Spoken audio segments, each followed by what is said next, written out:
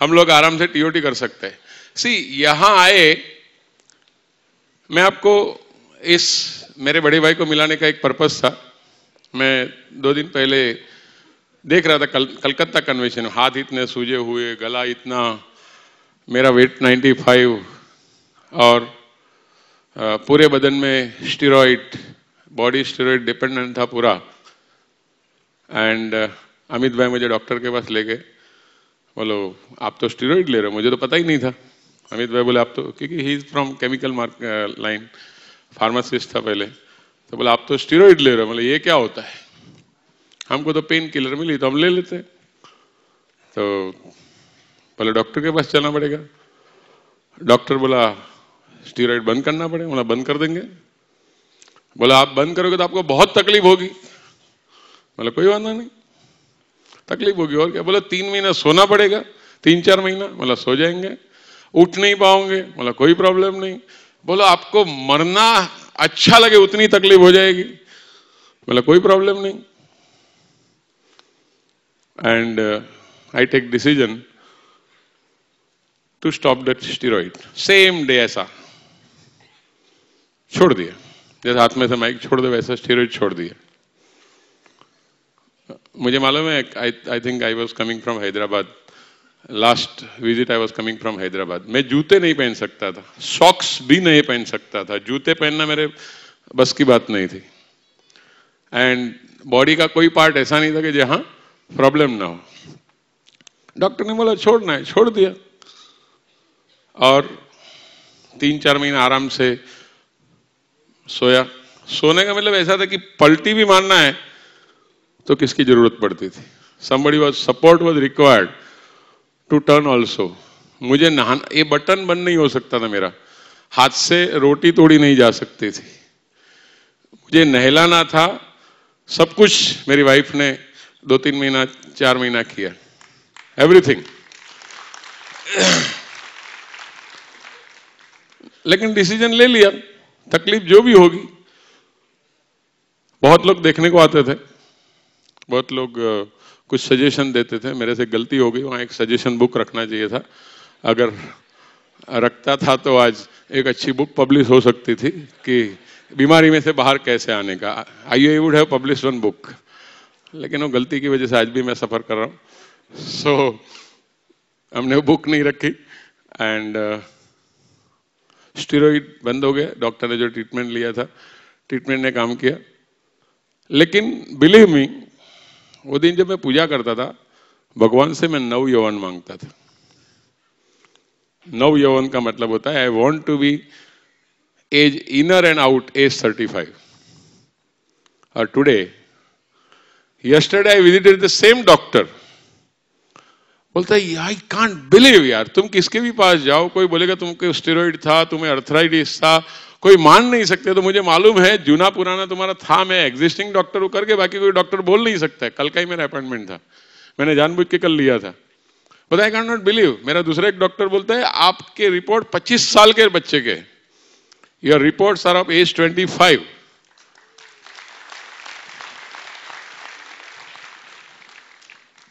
believe me whatever you ask is given Balla साहब ने मुझे एक बुक दिया था ask and it is given आप जो मांगो मिलता है। मुझे एक बात बताओ। सो so, आप जो मांगो मिलता है लेकिन आप मेरी वो हालत देख के मेरा वो बॉडी देख के वो वेट देख के 95 फाइव वॉज़ माई वेट क्या एक नक्की कर सकते हैं कि मैं आज से 10-15 साल छोटा लगूँगा छोटा दिखूँगा?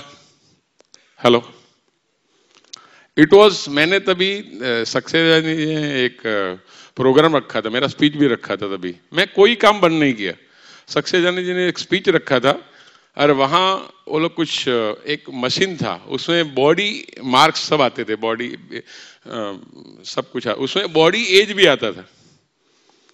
एंड मैंने ये लास्ट टू लास्ट ईयर करवाया था एंड मशीन ने बताया था body age 65 at that time उतना हालत खराब था। मैंने सोच लिया, भगवान से मांगा कि मुझे नव यौवन चाहिए।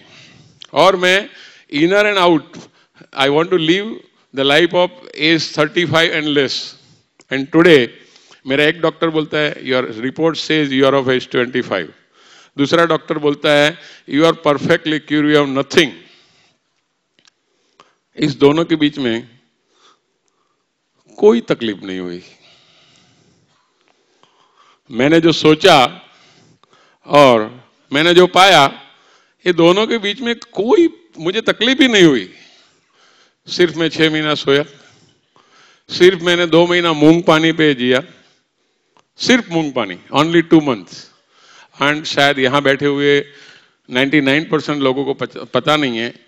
आज पचासवा दिन है, मैंने खाना नहीं खाया। Today is the fifth day कोई बोलेगा, क्या फेंकते हो? आज पचासवा दिन है कि मैंने खाना नहीं खाया, रोटी नहीं खाया, दाल, चावल, कुछ नहीं। I am living only on fruit juice and fruit and majority पिछले नवरात्रि से पहले से मैंने जूस चाले ओनली जूस मौसमी जूस संतरा जूस नारंगी जूस ये सब जूस ओनली एंड वो भी दिन में दो या तीन दफे। दैट्स ऑल क्या हुआ एकदम? सब शांत हो गए। इस बीच में कोई तकलीफ़ नहीं हुई।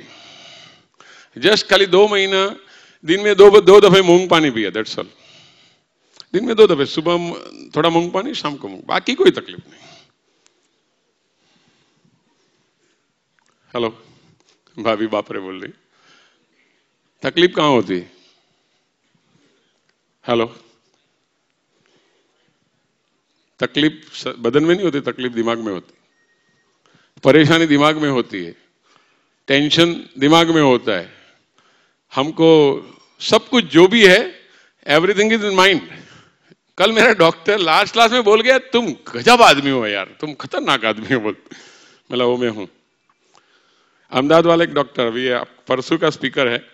एंड uh, उनके सजेशन पे मैं पचास दिन he is not a doctor he is a naturopath और परसों आपको स्पीकर सुनने को मिलेंगे।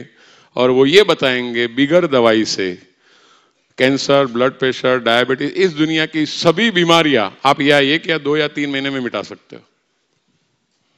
एंड इस टाइम हम जो कन्वेंशन लाए आपके लिए, और वो आदमी भी यही बोलता है एवरीथिंग इज़ पॉसिबल मैं भी बोलता हूँ, वही थिंग पॉसिबल है. लेकिन इसके लिए पहला करना क्या है? वॉट इज़ फ़र्स्ट हेलो मैंने पहले सोचा कि मुझे नव यौवन चाहिए। ये सर नो मेरे को 35 साल 25 साल की ज़िंदगी जीनी है। मैं अगले साल आपको बताऊँगा, मैं बोलूँगा, मैं अठारह साल का हूँ। Age 18 and you don't know what are the benefits of living that age मुझे क्या चाहिए वो नक्की करना है। ये सर नो फिर क्या करना है? वो हो सकता है। ये मुझे बिलीव करना है। ये सर नो कुछ आया ना? लेकिन हमको यहाँ नक्की करने का बोलेगा तो टीओटी नहीं, अपने इससे थोड़ी हो सकता है यार, अपना तो बारह life hello double T MDIT हो सकता है सीओटी हो सकता है टीओटी हो सकता है। हमको अगर बोला जाए ना तो हमारा जवाब कहाँ आएगा? अभी पाँच मिनट बाद आपकी परीक्षा है। मैं आपको बोलूँगा, अपने पेपर पे लिखो। तभी आप अपना टेस्ट पास करते हो कि नहीं? दूसरे का टेस्ट पास करते हो कि नहीं?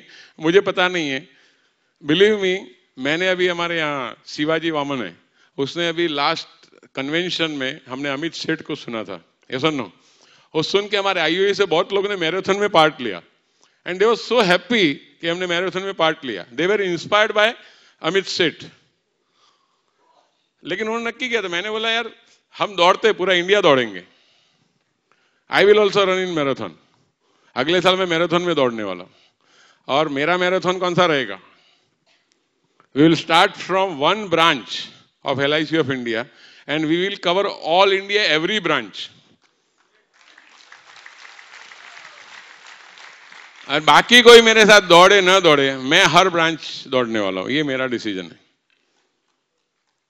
हाय हाय, इतना क्यों दौड़ने का? इतना दौड़ने से क्या मिलेगा हाँ? मुझे दौड़ना है दैट्स ऑल दौड़ूँगा, एक आध साल लगेगा, और क्या? ये कन्वेंशन अगला कन्वेंशन पूरा करके दौड़ेंगे, दूसरा कन्वेंशन आते आते दौड़ के वापस आ जाएँगे। हर जगह कम से कम आईओए का झंडा तो लहरा के आऊँगा। एक बात पक्की है, मैंने 12 साल पहले नक्की किया था, मैं आज आपको इंस्पायर के अंदर बहुत कुछ बोलना चाहता हूँ। मैंने 12 साल पहले दो तीन चीज़ नक्की किया था कि इंश्योरेंस इंडस्ट्री में मैं ऐसे दिन लाऊँगा कि जब माँ को बच्चा होगी तो बोलेगा, मेरा बेटा इंश्योरेंस एजेंट बनेगा। वो अभी भी प्रॉमिस है डिलीवर्ड नहीं है, लेकिन ये और अगले साल डिलीवर हो जाएगा। I am going to deliver that promise अभी आपने सुना है, जिसको कुछ नहीं मिलता वो एजेंसी लेता है। अगले साल से आप सुनोगे। पहले आदमी चार्टर्ड अकाउंटेंट बनता है, फिर कंपनी सेक्रेटरी बनता है, फिर वो बनता है, फिर वो एल एजेंट बनता है। ऐसा दिन अभी आने का शुरुआत हो गया मैं आपको सच बताता हूँ एक या दो साल में doctor doctor, chartered accountant, engineer, advocate बड़े बड़े यहाँ आएँगे, इंश्योरेंस इंडस्ट्री में और आईए में। क्यों?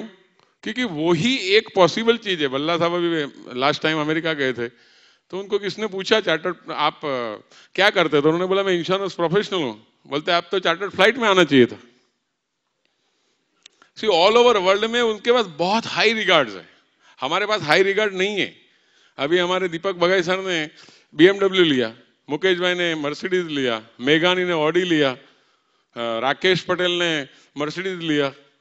हमारे यहाँ ऑडी और मर्सिडीज बहुत आने लगे अभी और बिलीव मी ये साल और अगले साल मिलके मैं चाहता हूँ कि वी विल हैव अप्रोक्सीमेटली 2500 ढाई हज़ार मर्सिडीज बेंज एंड बीएमडब्ल्यू हम बुक कराना चाहते हैं ऑन करना चाहते हैं इंश्योरेंस इंडस्ट्री इसके बाद एक हवा आएगी कि अगर मर्सिडीज है बीएमडब्ल्यू तो LIC एजेंट को परवड़ती हुई अपने को तो डॉक्टर है, अपने को चार्टर्ड अकाउंटेंट को नहीं परवड़ती।